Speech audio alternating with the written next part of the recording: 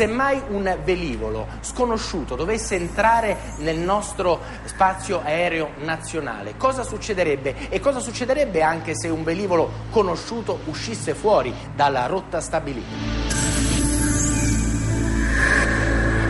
Dunque, alla, i voli che sono controllati e quindi che hanno presentato un piano di volo strumentale, così viene definito nei particolari tecnici, non possono alterare la loro rotta e la loro quota senza aver ricevuto un'autorizzazione dal controllo del traffico aereo. Quindi è evidente che ogni volta che un pilota ha un'esigenza di modificare o la rotta o la sua quota di volo, deve chiedere un'autorizzazione e fino a che questa autorizzazione non è rilasciata non può allontanarsi dalla rotta precedentemente autorizzata e ricevuta. Qualora noi dovessimo osservare sui nostri schermi radar una traccia che non è associabile a nessun piano di volo e quindi inaspettata, immediatamente avvisiamo i nostri colleghi della difesa aerea che possono, se necessario e se ritenuto opportuno, anche far scattare le procedure atte ad intercettare gli aeromobili sconosciuti.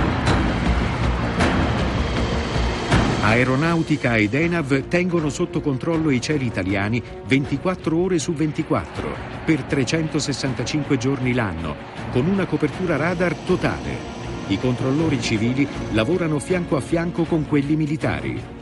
Per questo motivo la procedura d'allarme è così rapida.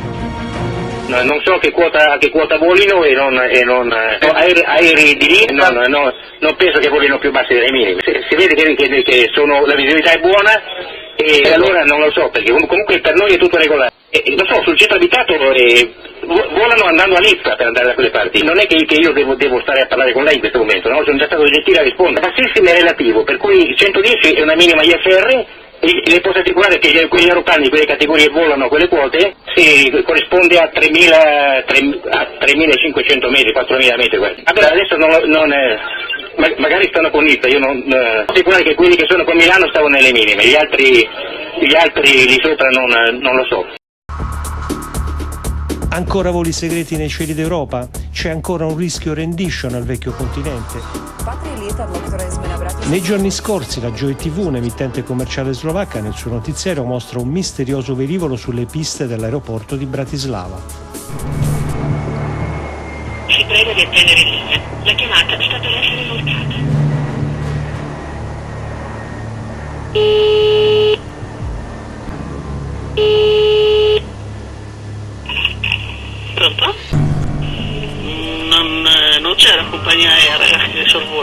Adesso. No, aereo che sta per arrivare, se arriva un aereo piccolo fanno le prove di pilotaggio. Normalmente sì, eh, dovrebbe essere quello, però non è perché non, eh, il cargo non è che va avanti e indietro continuamente, fanno le prove di pilotaggio sicuramente. E stava partendo in quel momento uno da cargo.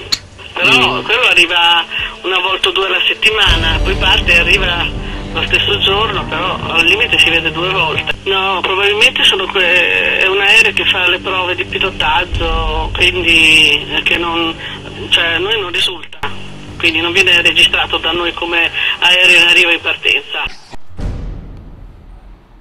di mantenere l'anonimato, il ragazzo che ha trovato questo strano oggetto sembra proprio la punta di un aereo, anche se la foto scattata da un telefonino è un po' fuori fuoco. Con un codice e un, eh, e un numero di matricola impresso sul, sulla base. Facendo un controllo su, su, internet ho visto che questa, questa azienda che c'è impresso il marchio sulla, su questa carcassa fa, fabbrica carlinghe per aerei militari. Militari e civili litigano e gli aerei restano a terra. Nel cielo del nord-est si combatte una guerra di soldi e burocrazia con un risultato surreale, la chiusura dello spazio aereo. Dal 1 giugno la Lombardia orientale e il Veneto sono vietati ai velivoli da turismo italiani e stranieri, anche i voli di linea su aeroporti come Verona subiscono forti ritardi con grave danno per le compagnie.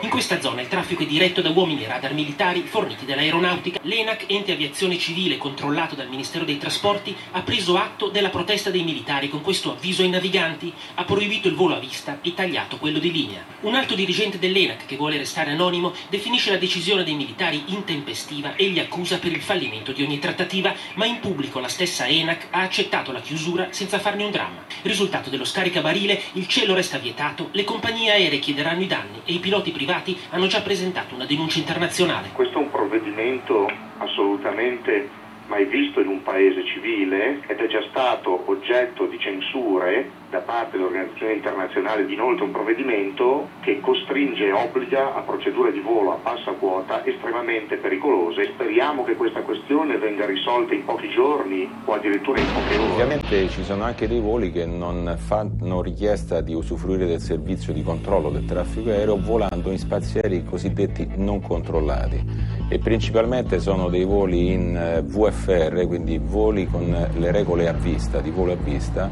dei quali noi potremmo anche non conoscerne il piano di volo perché non è così richiesto.